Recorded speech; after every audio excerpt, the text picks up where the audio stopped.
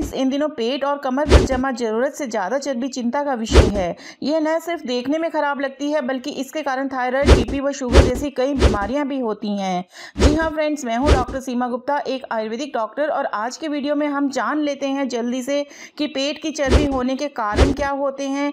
हम इसके लिए क्या योग कर सकते हैं, क्या एक्सरसाइज कर सकते हैं, क्या हम अपने डाइट प्लान टिप्स, क्या होनी चाहिए हमारी, और कुछ एक्स्ट्रा टिप्स। तो लास्ट तक वीडियो को ज़रूर देखें फ्रेंड्स।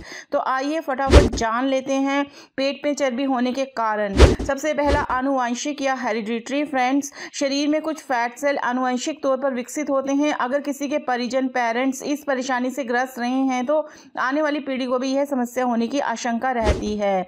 नंबर दो, कमज़ोर पाचन तंत्र या डाइजेस्टिव सिस्टम। फ्रेंड्स, उम्र बढ़ने के साथ साथ हमारा डाइजेस्टिव सिस्टम भी कमज़ोर होने लगता है। यह भी पेट की चर्बी बढ़ने का कारण होता है। आमतौर पर देखा गया है कि इस मामले में पुरुषों के मुकाबले महिलाएँ इसका ज़्यादा शिकार होती हैं।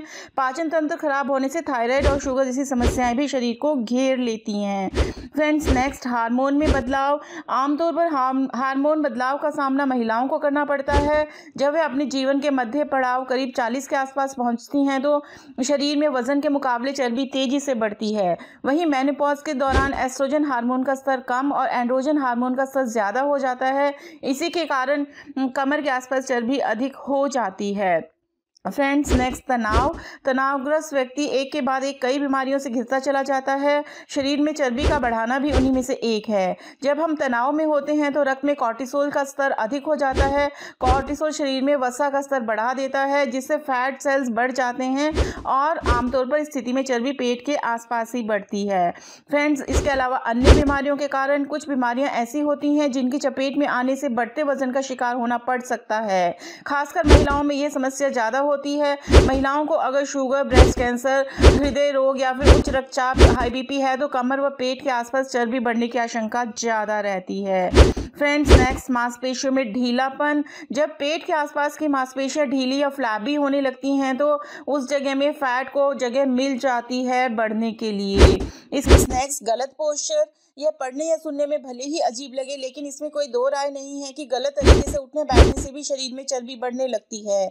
कमर झुकाकर बैठना पेट के आसपास अधिक चर्बी का कारण बन सकता है। फ्रेंड्स नेक्स्ट बैठकर काम करने की आदत आधुनिकता के ज़माने में हमारा जीवन इतना आसान हो गया है कि हमने शारीरिक गतिविधियाँ करना ही बंद कर दिया है।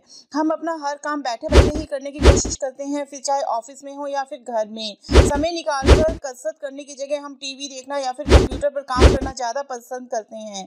परिणाम स्वरूप हमारे शरीर में फैट का स्तर बढ़ने लगता है। फ्रेंड्स नेक्स्ट ज़रूरत से ज़्यादा खाना। हम दिन भर में क्या कुछ नहीं खाते। कभी कभी तो काम के दबाव में या फिर तनाव में ज़रूरत से ज़्यादा खा लेते हैं और फिर एक ही जगह बैठ कर काम करते हैं। इससे सभी कमर व पेट के आसपास चर्बी बढ़ने लगती है। तो ये थे कारण चर्बी बढ़ने के अब जानते हैं कि पेट की चर्बी को कम कैसे करें एक्सरसाइजेस सबसे पहले वॉकिंग या पैदल चलना। अगर आप रोज सुबह शाम आधा घंटा पैदल चलते हैं तो इससे शरीर में जमा बेकार की चर्बी कम होने लगती है। संभव हो तो तेज कदमों से चलना चाहिए। पेट कम करने के लिए ये सबसे आसान और सुरक्षित तरीका बताया गया है। फ्रेंड्स नंबर दो रनिंग या दौड़ना। शरीर को चुस्त व दुरुस्त रखने के लिए रनिंग से बेहतर कुछ नहीं हो सकता। दौड़ लगाने से जहाँ हृदय अच्छे से काम करता है, वहीं अतिरिक्त कैलोरी बर्न होती है और धीरे धीरे चर्बी भी कम होने लगती है। शुरुआत में कुछ मीटर ही दौड़े और तेज की जगह धीरे धीरे दौड़े। जब शरीर इसका अभ्यास हो जाए तो अपनी गति और समय दोनों में वृद्धि कर सकते हैं। फ्रेंड्स अगर आप आउटडोर नहीं दौड़ सकते तो घर में ही एक ही जगह पर जॉगिंग जैसी मुद्रा में भी आप दौड़ सकते हैं और उसी तरह के बेनिफिट्स पा सकते हैं।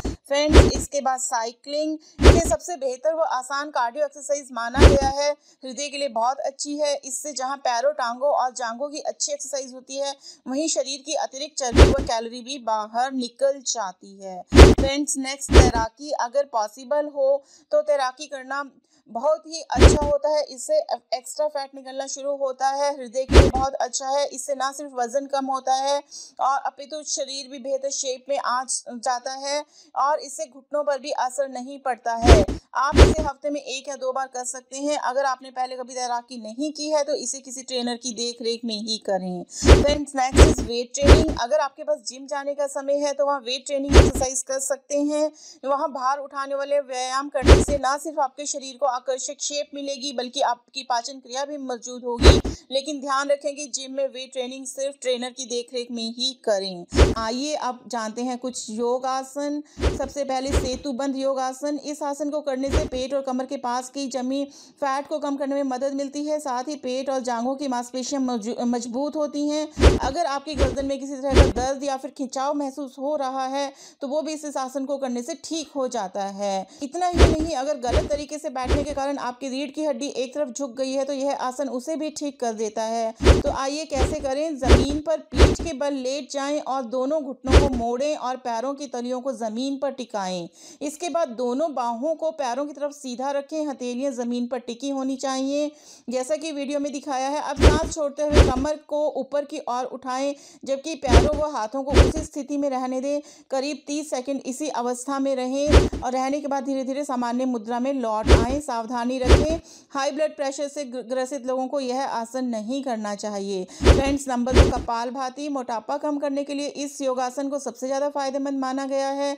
इसके परिणाम जल्द ही देखने को मिलते हैं। इसे नियमित रूप से करने पर कब्ज गैस एसिडिटी जैसी समस्याएँ भी गायब हो जाती हैं।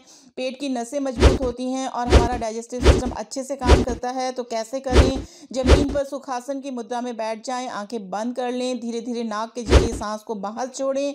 जब आप सांस बाहर छोड़ेंगे तो आपका पेट अंदर की ओर जाएगा। ध्यान रखें कि इसे करते हुए सांस को अंदर नहीं लेना है, सिर्फ़ छोड़ना है।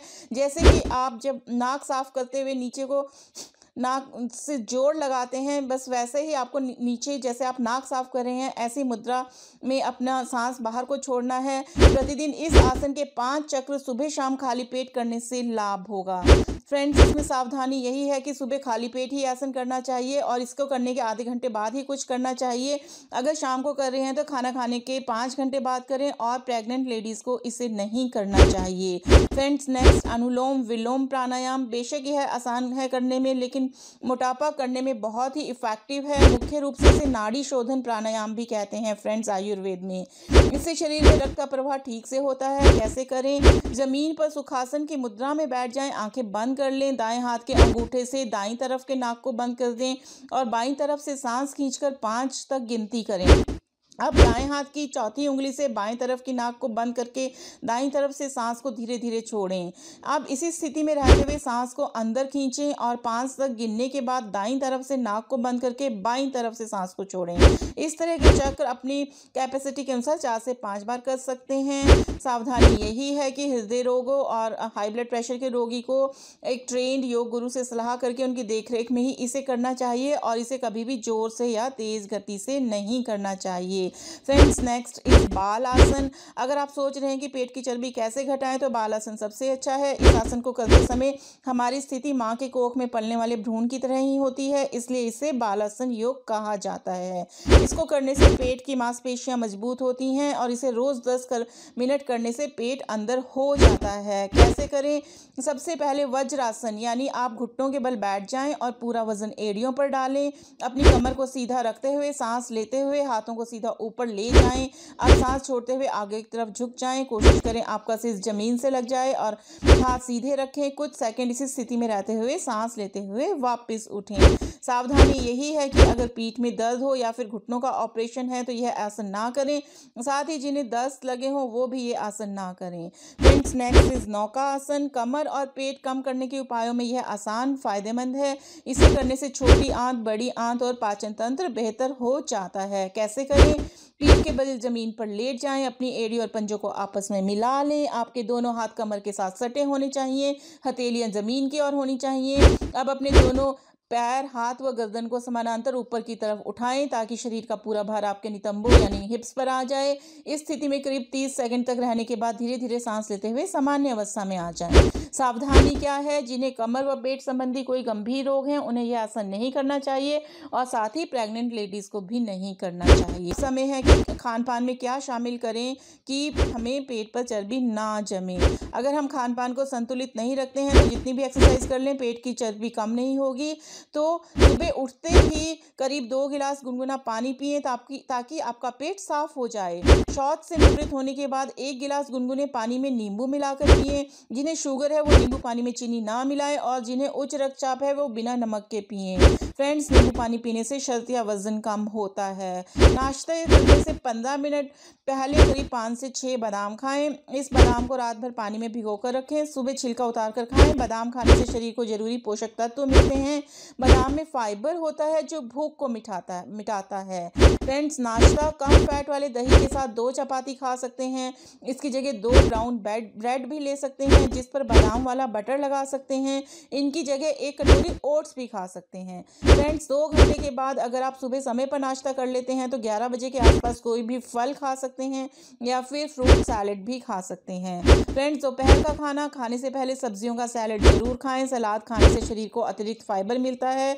इसके बाद एक या दो रोटी और साथ में मिक्स सब्ज़ी व उबली दाल ले सकते हैं। अगर नॉन वेज खाते हैं तो मछली का एक टुकड़ा ले सकते हैं। कोशिश करें कि खाना एक बजे तक खा लें। फ्रेंड्स शाम को डिनर से पहले शाम करीब पाँच बजे एक फल या फिर एक गिलास बिना क्रीम वाला दूध पी सकते हैं। इसके अलावा ग्रीन टी या फिर नारियल पानी भी पी सकते हैं। फ्रेंड्स रात का खाना हमेशा हल्का होना चाहिए। आठ बजे तक कर लेना चाहिए। डिनर में बिना बटर के वेज या फिर चिकन सूप ले सकते हैं। इसके बाद सब्ज़ी के साथ एक या दो रोटी ले सकते हैं। फ्रेंड्स दूरी बनाएँ शक्कर युक्त व डिब्बा बंद खाद्य पदार्थ खानों से स्टार्च युक्त खाद्य पदार्थ जैसे चावल नूडल्स पास्ता और ब्रेड से इनकी जगह ब्राउन राइस और ब्राउन ब्रेड का सेवन करना चाहिए, तंबाकू, शराब व सिगरेट से परहेज करना चाहिए। फ्रेंड्स आगे कुछ और ज़रूरी टिप्स जिनकी मदद से पेट की चर्बी को कम किया जा सकता है। संतुलित मात्रा में खाएँ, दिन भर में तीन बार पेट भर भोजन करने से हमारा डाइजेस्टिव सिस्टम ठीक से काम नहीं कर पाता, इसलिए हर दो से तीन घंटे में थोड़ा थोड़ा खाते रहें। अधिक पानी पिए, दिन में आठ से दस गिलास पानी पीना सेहत के लिए बहुत ज़रूरी है। पानी तभी नहीं पीना चाहिए जब आपको प्यास लगी हो या फिर गला सूख रहा हो। हर तय समय पर थोड़ा सा पानी पीना चाहिए। पानी पीने से ओवर ईटिंग की आदत कम हो सकती है। फ्रेंड्स नाश्ता करना ना भूलें। जितनी ज़रूरी सांस लेना है, उतना ही ज़रूरी नाश्ता है। कुछ लोग सोचते हैं, नाश्ता नहीं करने से वज़न कम होता है, जबकि ऐसा नहीं है। उल्टा नाश्ता ना करने से हमारी भूख बढ़ती है और हम ज़्यादा उल्टा सीधा खा लेते हैं, जिससे वज़न बढ़ने की समस्या पैदा हो सकती है। फ्रेंड्स ग्रीन टी लेनी चाहिए। इसमें एंटीऑक्सीडेंट गुण होते हैं, जो मोटापा और चर्बी घटाने में सहायक होते हैं। इसलिए दिन भर में कम से कम दो से तीन ग्रीन टी पी सकते हैं। साथ ही पोटेशियम युक्त खाद्य पदार्थ लेने चाहिए, जिनमें कि एवोकेडो केला पपीता, आम और खरबूजे में भरपूर मात्रा में पोटेशियम होता है, जो शरीर में पानी की कमी नहीं होने देता है और वज़न कम करने में हेल्प करता है। फ्रेंड्स साथ ही फल और सब्ज़ियाँ दिन भर में थोड़ी थोड़ी मात्रा में इनका सेवन करते रहना चाहिए। इससे भूख कम लगेगी और मोटापा कम करने में मदद मिलेगी। फ्रेंड्स, साथ ही स्मूदी संभव हो तो दिन की शुरुआत फलों की स्मूदी के साथ करें, खासकर तरबूज की स्मूदी का सेवन करना चाहिए। तरबूज में पर्याप्त मात्रा में पानी होता है, इसे खाने के बाद पेट भरा रहता है और कुछ खाने का मन नहीं करता। ऐसे में जब आप खाना नहीं खाएँगे तो संभव है कि पेट की चर्बी कम होगी। फ्रेंड्स, साथ ही पूरी नींद लेना भी बहुत ज़रूरी है, फैट को कम करने के लिए। हर किसी को सात से आठ घंटे की नींद लेनी ही चाहिए। कम से कम या ज़्यादा सोना दोनों ही वज़न बढ़ाने के लिए अहम कारण है। अगर आप पूरी नींद सोते हैं तो पाचन तंत्र अच्छे से काम करता है और भोजन को पचाता है। फ्रेंड्स कमर या पेट पर जमी चर्बी, ऐसी समस्या नहीं है कि उसे दूर ना किया जा सके। बस ज़रूरत है तो तय दिनचर्या का पालन करने और नियमित व्यायाम करने की। आई होप फ्रेंड्स आपको ये सारी जानकारी अच्छी लगी होगी। बने रहे चैनल आयुर्वेद गाइड के साथ। आज ही सब्सक्राइब करें और ऐसे ही अपडेट्स पाने के लिए।